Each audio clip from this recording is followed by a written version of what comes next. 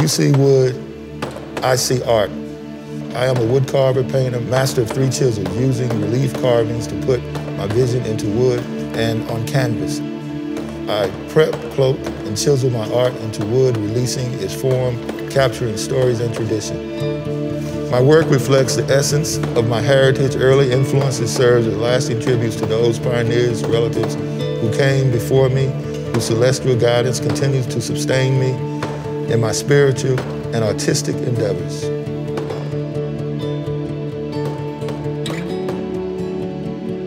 You have a really interesting story of, of, having played basketball at UK and you learned art along the way, but how has art become such an important part of your life?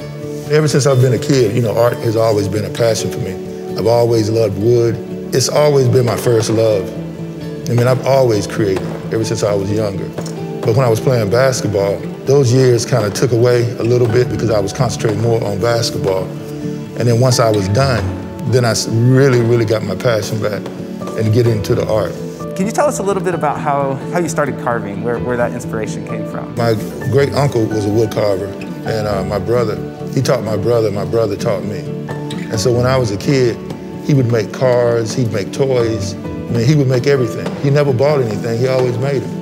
I always liked what he made because it seemed like, you know, he put his spirit and his soul into it. And when you carve, you actually can you know, put your spirit and your soul into the wood. And I think that's what a lot of people are attracted to. So it's kind of been like a family tradition. It's an African American tradition, African tradition, a tradition for people all around the world to carve.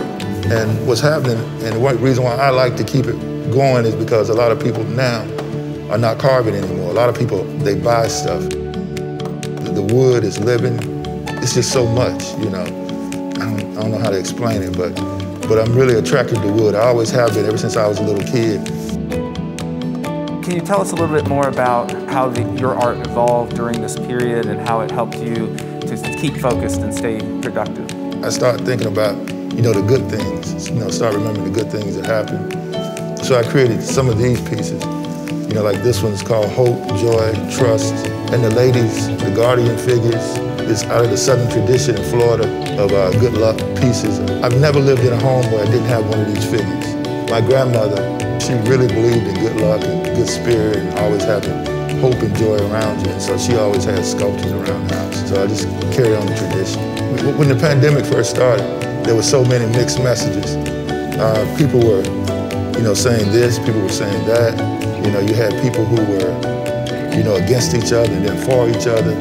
And so I had to find a, a medium of happiness somewhere. So some of the works you'll see was when I was really frustrated, and then some of the works you'll see when I was really hopeful, and then some of the works you'll see when I, you know, was really joyful.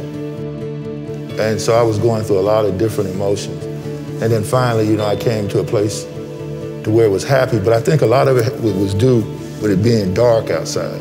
The worst part of the year for me is October because it's so dark. And so that's why my work was really heavy.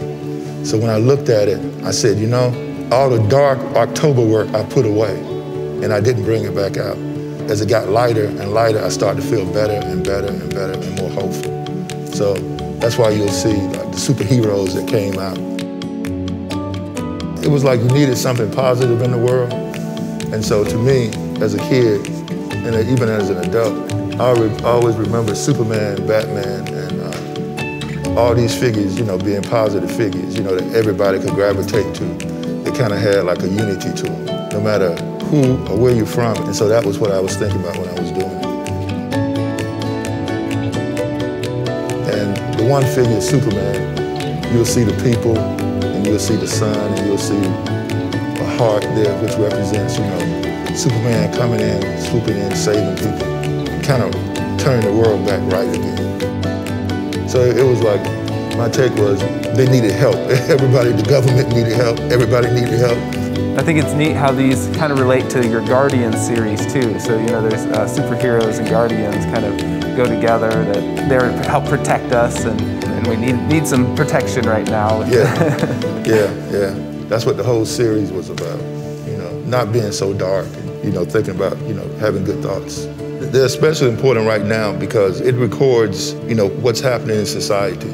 Uh, and I think when you, when you have a pandemic or, or you have this situation we're in now, I think artists become more creative. I, have seen a lot of fantastic work. It, it's just important because it also, it, it gives you hope, it gives you joy. And I wish more people were involved in the arts. So LaVon, what do you hope people take away from this exhibition? You know, I hope they take away joy, peace, and I, I hope take away understanding of my experience going through the pandemic. All the, the phases I went through, the ups, the downs, the depression, to the joy. And I hope when they come in and they experience it, they find a welcome, a joy, and a peace in my pain and in my pleasure, in my joy, is what I hope they take away from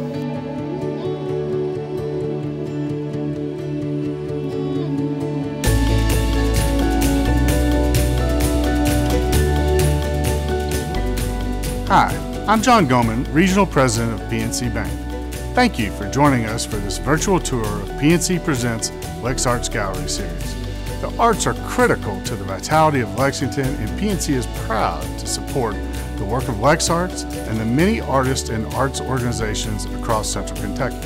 With assistance from PNC and many others, our local art scene generates 32 million in annual economic value and sustains over 1,200 full-time jobs.